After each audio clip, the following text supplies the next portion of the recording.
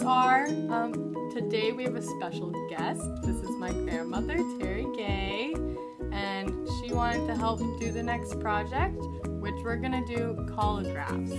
So a collagraph is, um, you can use a cardboard, cereal boxes, um, any type of food box.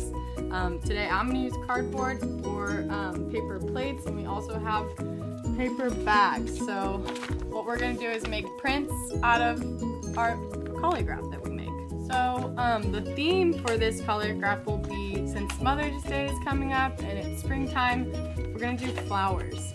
So um, this would be really great if you wanna make your mom a Mother's Day card, your grandparents, grandmothers, aunts, anybody. So um, we're gonna make flowers. We're gonna cut out our flower designs, then we're gonna glue them all together. You'll need to find some scissors, some kitchen scissors, and either paper plates, um, cardboard from cardboard boxes, or um, like paper bags, or if you have, like I said, pizza boxes or any type of food boxes, you can use that. Okay, so we both created our designs. Um, Tita used paper plates and I used cardboard so these are two different example options. The next thing we're going to do is glue everything down. So we're going to use this acid free yes paste but I'm sure none of you have this um, so you can use any type of glue if you made the puffy paint. I'm sure you can use that as an adhesive. Um, so yeah.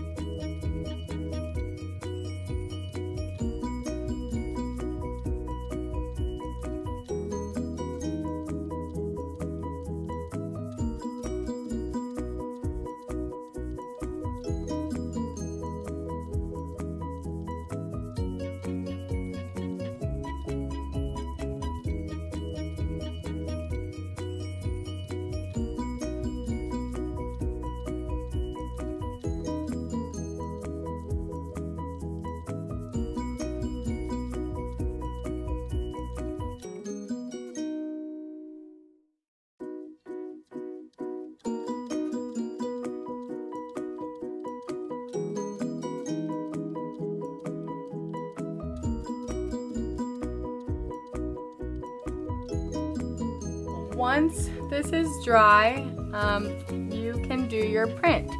So what you're gonna do is set a piece of paper on top. It could be printer paper, any kind of paper you can use. And you're gonna, if you have crayons, you can peel them so it's much easier. And you just kind of try to find the shapes. And if you want to tape down piece of paper. That could be smart so that it doesn't move around too much. Okay, so now you should have let this dry and you're gonna get a piece of paper to put on top, a crayon, and you're gonna start rubbing all over to try to have those shapes come out mine's cardboard, so we're gonna see.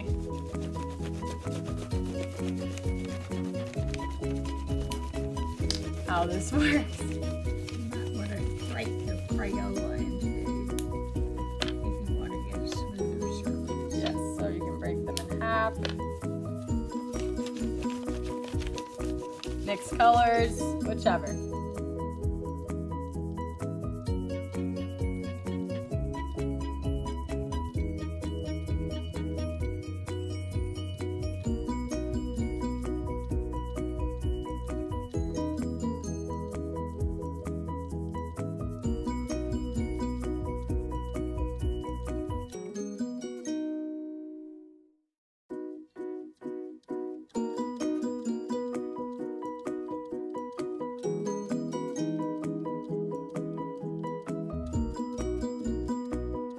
I hope you enjoyed this project today. Um, totally great to do cards for your moms.